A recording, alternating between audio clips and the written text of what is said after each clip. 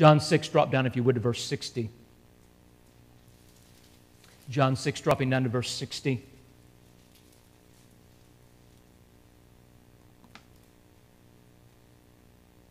Therefore, when many of his disciples heard this, they said, This teaching is hard. Who can accept it? Jesus, knowing in himself that his disciples were complaining about this, asked them, Does this offend you? Then what if you were to observe the Son of Man ascending to where he was before? The Spirit is the one who gives life, the flesh doesn't help at all. The words that I have spoken to you are spirit and are life. But there are some among you who do not believe. For Jesus knew from the beginning those who would not believe and the one who would betray him. He said, This is why I told you that no one can come to me unless it is granted to him by the Father. From that moment, many of his disciples turned back and no longer accompanied him. Therefore, Jesus said to the twelve, You don't want to go away too, do you? Simon Peter answered, Lord, who will we go to? You have the words of eternal life. We have come to believe and know that you are the Holy One of God. Jesus replied to them, Didn't I choose you, the twelve? Yet one of you is the devil. He was referring to Judas, Simon Iscariot's son, one of the twelve, because he was going to betray him.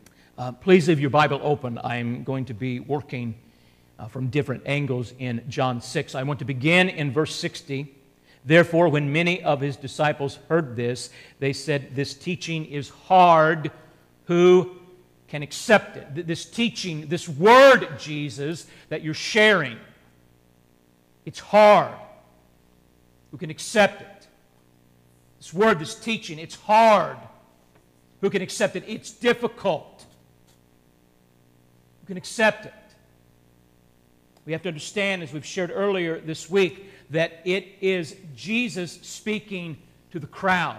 It is Jesus tonight speaking to me. It is Jesus speaking to you. This is not a man speaking to other men. This is Jesus Christ, God Himself, speaking to us. We pay attention. In the words of the prophet Amos, the lion has roared. Who will not be afraid?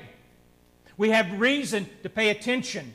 We have reason to have our hearts quickened. We have reason to come alive in our minds and in our souls to listen to the one who is speaking because this is God. This is not man speaking to man. This is God speaking to man. This is God speaking to me and God speaking to you. This teaching, this word, it is coming from Christ.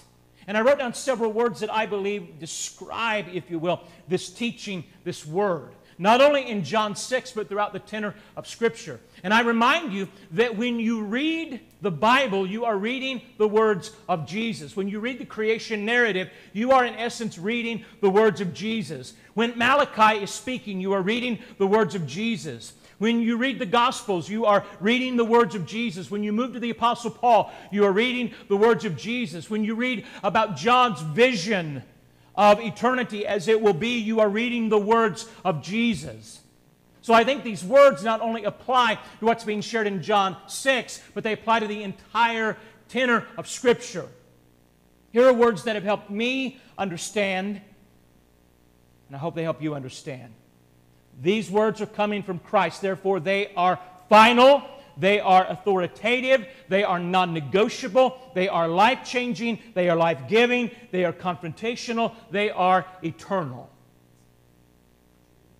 Let me describe what I mean by each word. They are final, and I mean this in the earthly sense.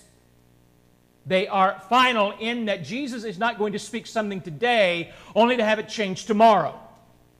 Jesus is not going to reveal his will this week only to have it change next week. What is true this year will still be true next year. Amen? He speaks His word to me, and in the earthly sense, it is final. Now, there are many things in the church that can change with God's permission. There are many things in the church that can evolve, should evolve, but there are certain things that must remain a constant. When we come to the integrity of the Word, when we come to the truth, the truth does not change, the truth does not evolve. There are things culturally that we can change. There are things culturally that we can concede. But when it comes to the truth as revealed by God Himself, God has spoken a final word in the earthly sense. People will come to me and they will ask hard questions because they know I'm a Christian and they know that I'm a pastor. And they ask hard questions. And I simply, in answering them, I echo the Word of God. And I try to explain to people this is not my idea, this is God's idea. This is not my conviction, this is God's conviction. Uh, in particular, in this day and age, uh, we have to wrestle with some hard questions concerning human sexuality. And when I answer in a biblical way, I am always very quick to say, this is not the idea of me, and it's not the idea of the established church. This is the idea of God. These are the convictions not of a man, not of an organization. These are the convictions of God. And this truth does not evolve, and this truth cannot be a concession to the greater culture. Amen? It's final.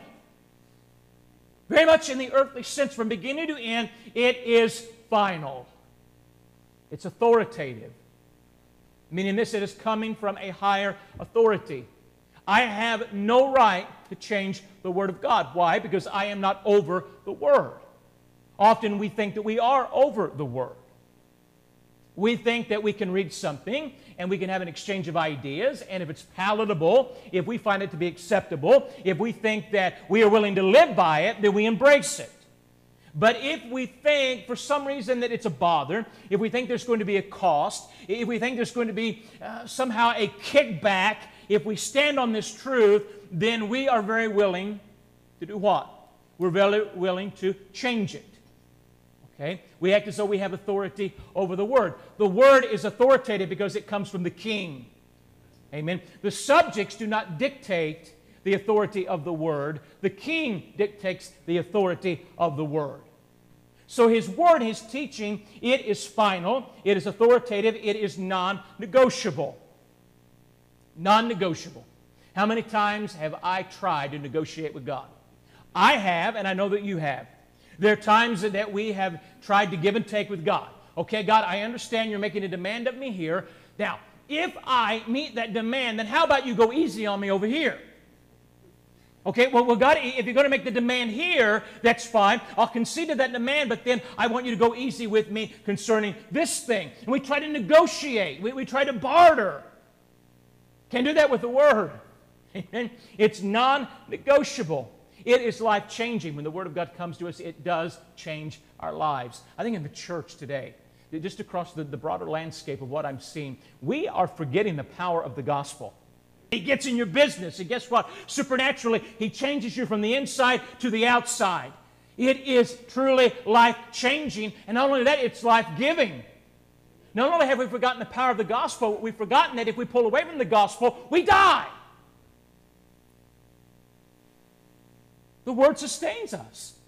It's life changing, but it's also life giving. And how many of us, let's be honest, we're okay staying away from the Word for a little while. Ah, I didn't read my Bible today. Uh, you know what? Come to think of it, I don't think I read it yesterday. Well, I know I had my Bible out Sunday because I took it to church to impress the pastor. Um, you know, and he wasn't paying attention to me, so I walked in front of him three times with my Bible under my arm. Uh, so I know I, I know I had it out Sunday, but, but you know what? Saturday, no, I didn't get it out Saturday. Really, I don't know. Let's see, two weeks, last month. We've all been guilty of that. Amen. We have to understand this is life changing and it is life giving. It is confrontational. It is confrontational. The Word of God has a way of coming into your life and meeting you head on. Okay? The, the, the Word of God, it, it, is, it is living and it is active, according to the author of Hebrews. Living and active, meaning that when it comes into your life, it, it is tenacious. It's like a bulldog. Okay? If you think for one moment that you're going to get away from the Word, you're not going to get away from the Word. Okay? If you're here tonight and you're not a believer, you think, okay, I'm going to leave here and I'm going to go home. I'm going to be like Jonah. I'm going to run from the presence of the Lord. It's what uh, the Puritans used to say it's the felt presence of the Lord. Because we know, in the grand sense, you cannot run from the presence of the Lord because He's everywhere. But we want to run from the felt presence of the Lord. We, don't like the conviction that we feel when we're confronted with the Word. So if you're not a believer, you want to run away. Okay? I remember being in a revival one time in Marion, Illinois. It, it was one of the greatest supernatural evenings that I've ever spent. And I remember at the time of invitation, there were people three and four deep around the altar and just crawling on our hands and knees and just praying one to another. We had a man there that was healed uh, of cancer. Uh, there were other things that were happening. There was a marriage that was repaired. And there was a gentleman that had come in the back, and he came in late, and he sat through the sermon. And Bob, he, he was there, and he was watching the invitation, and suddenly, and he was seated about where you are in the sanctuary. And all of a sudden, he jumped up with a loud voice and said, I can't take it anymore! And he ran out the back door. Even as believers, we think we can run from the felt presence of the Lord. So we shut our Bibles. Listen, you cannot run from it. And you have to own the reality that the word is confrontational. Okay? I mean, it, it confronts you where you are and, and, what you're doing. It's confrontational. Nola, do you really think that's a good idea? I think that's why we sometimes leave our Bibles closed, because we don't God in our business. But God is in our business. We belong to Him. Amen. And even if you leave your Bible closed, the Spirit is still working in you to confront you and we're grateful for that. Finally, it's eternal in that the Word of God extends not only in that sense of the earth, but it extends into eternity. Amen. It is the hope of the gospel, the word of the cross that's going to carry me beyond the grave into the presence of Jesus, and I'll live with him forever. Amen. All right? So you have this teaching you have this word and it's coming from Christ. It's final, it's authoritative, it's non negotiable, it's life changing, life giving, confrontational, it's eternal. Now, many of his disciples heard this. They said, This teaching is hard. Who can accept it? Now, I, I want you, we're on the honor system here, okay? Sometime in the next day or two, I'll give you two days, read all of John 6 and you'll understand what's being said. There are some really hard things that Jesus is sharing in this passage of Scripture. Amen really hard things about eating his body and drinking his blood. Okay?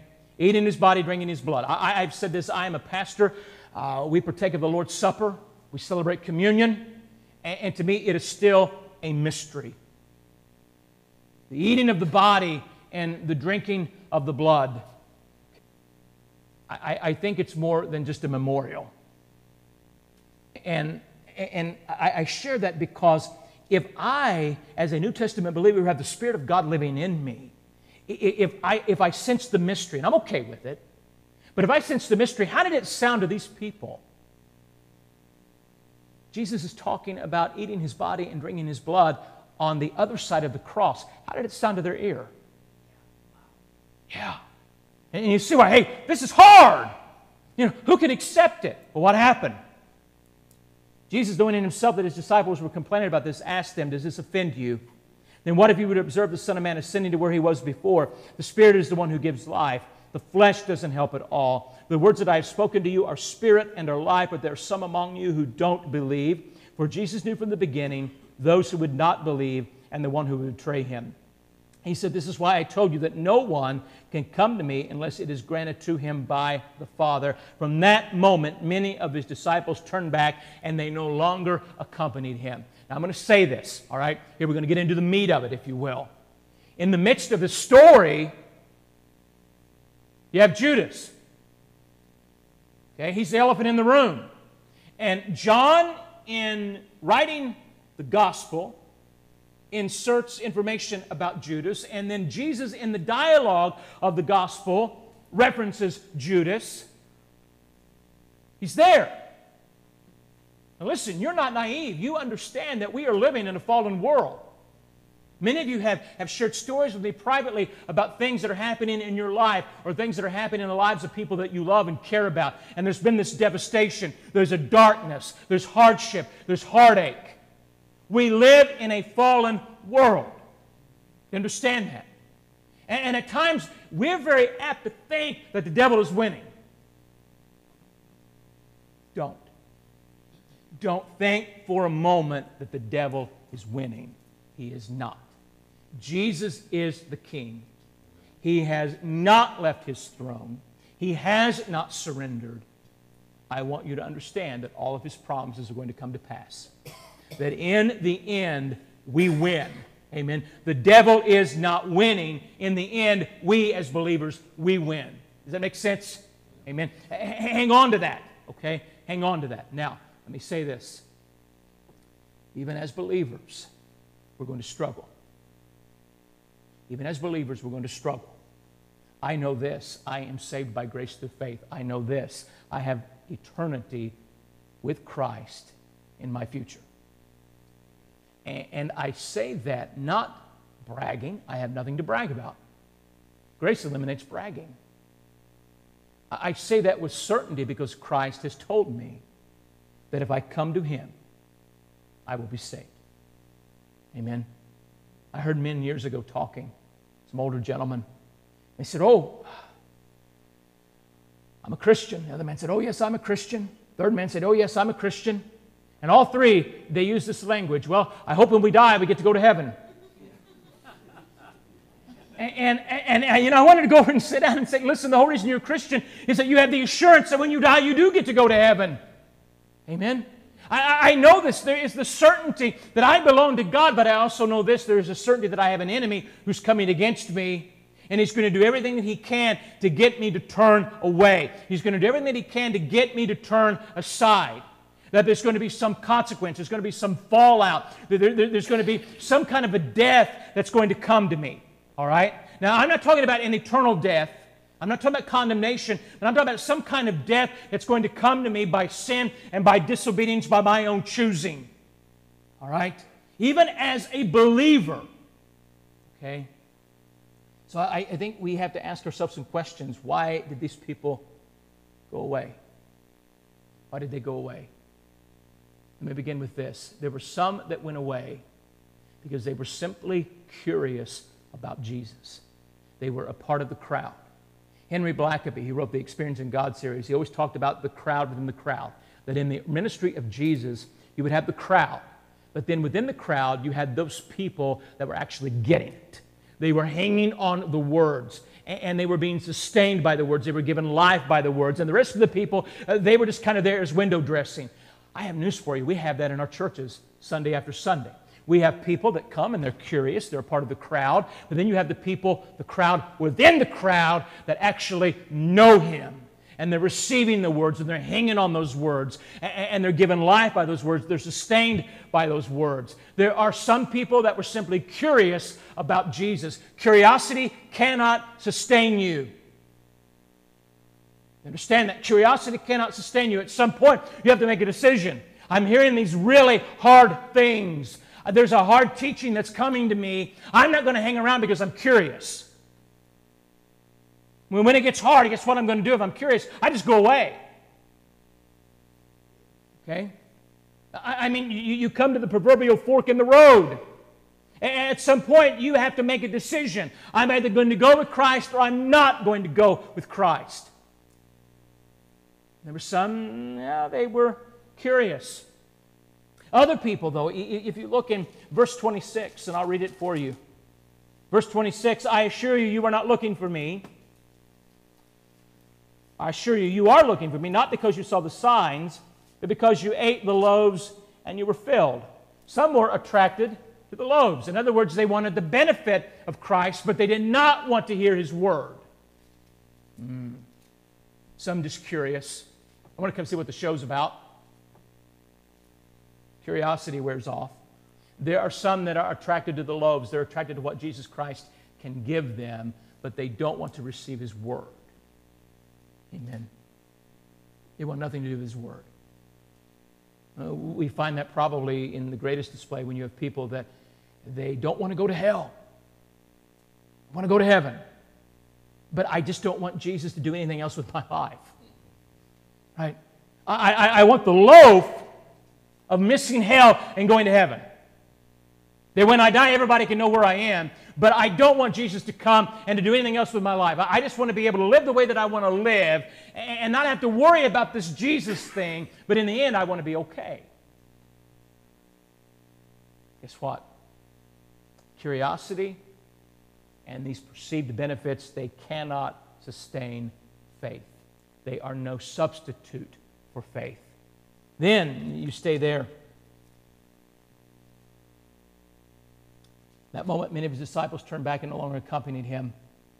And Jesus said to the twelve, You don't want to go away too, do you? Simon Peter answered, Lord, who will we go to? You have the words of eternal life.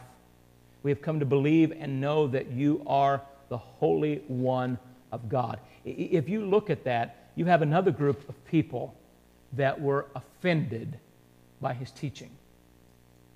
Okay? They, they were offended by his teaching. Okay? Some are curious, they went away.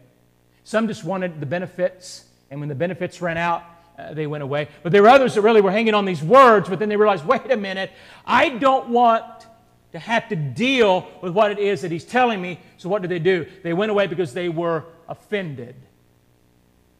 They were offended. Peter made it very clear we're not going away because we what? We believe. We what? We believe. Earlier in this chapter, Jesus asked a question about doing the work of God or the work of the kingdom, depending on the translation that you use. He said, Here's the work believe. It's so simple, we try to complicate it. And it really is so simple, but yet it's so simple, it offends people. I found that to be true. It, it offends people. What, what do you mean I, I, I'm a sinner and I can't help myself? There's got to be something else to it. There's nothing else to it. You are a sinner. Come to the end of yourself. Relent, believe in Jesus, and be saved. Amen. You know how frustrating that is to try to pray with someone and, and, and they, keep, they keep pushing back. They keep pushing back. They are offended by the fact that they are just beggars, that they come empty handed. They are offended by the fact that they are at the mercy of the living God, that they have nothing to offer, that they can't work it off. It's not a matter of good works and bad works. They are offended by the things that Jesus says to them, in particular about salvation. And I'm going to say something. If we're not careful, even as believers, we are apt to be offended by the Word of God and turn away, at least for a time. I've seen that. And you've seen it. Believers that want to harbor sin. We want to openly welcome rebellion and we don't want the word to deal with it. And so we're offended by the fact that Jesus would, would make demands and that Jesus says, no, we need to change this, we need to change that. Listen, he loves you as you are, but he loves you enough to change you. Okay? He loves you as you are, but he loves you enough to change you. And listen, that change is going to happen. Okay? I, I often tell people this. If you are, now listen, if you really are a Christian, God is obligated to change you, and you are going to be changed whether you want to be or not. My dad's a retired police officer. My dad could tell you stories of arrests that he's made. And one of my dad's favorite sayings was this We can do this the easy way, or we can do this the hard way. I hear people say, you know, God doesn't force himself and, and, and God just doesn't do those things. I'm thinking, yes, he does. Yes, he does. Have you read the book of Jonah? Okay, Jonah in three sentences. God said, Jonah, go to Nineveh. Jonah said, No, God, I will not go to Nineveh. Sentence number three Jonah went to Nineveh. Okay? You, you, you, think about where would you be if, if God had not overwhelmed you? Where would you be if God had not forced his way into your life? When I pray for somebody, I don't pray for God to be polite. I don't. And you don't either. Jesus said, No man comes to the Father unless he's drawn. Now, again, there's, there's a mystery because I have to choose and people have to preach. And we have very real choices and real consequences. But again, there's that supernatural element. So when I pray, I'm praying God overwhelm somebody, get a hold of them. Okay? Listen, I know this as a believer. I've been around long enough to know that when I'm offended by the word, I cannot outrun that word. That word is going to be waiting for me around every corner. Amen. Don't turn away. Don't leave. There's going to be heartache. There'll be suffering. There's going to be loss. Okay? But make no mistake, if you really are a believer, God's going to sanctify you. And God is going to work His will in your life one way or the other. Amen. But I have to be on guard. Because if just left to my own devices, if I'm, if I'm not willing to fight the spiritual fight, I'll turn away because I'm offended. And I do not want to be offended by the Word of God. Jesus said, Blessed are you if you are not offended by me. I want to be blessed. Amen. I don't want you just to be curious about it. I want you to believe and I want you to know. I get over my offense by knowing it's Jesus and I believe in him and I'm his and we're going to work through it. Amen.